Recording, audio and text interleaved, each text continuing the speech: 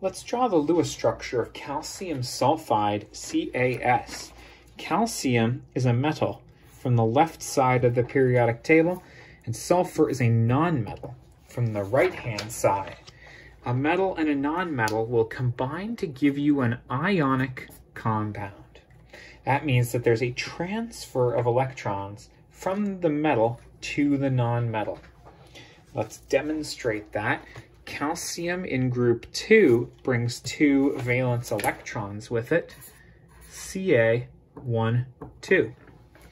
Sulfur is in group 16. It brings six valence electrons with it. Sulfur, one, two, three, four, five, six. I spread them out before I started doubling them up. It's just good form. Now again, in ionic compounds, the metal gives away its electrons to the non-metal, and you'll use as many of these as you need to make it so that all the non-metals have eight electrons around them each, octet rule, and all the non or all the metals will have no electrons left because they gave them all away. So calcium will give one electron away here.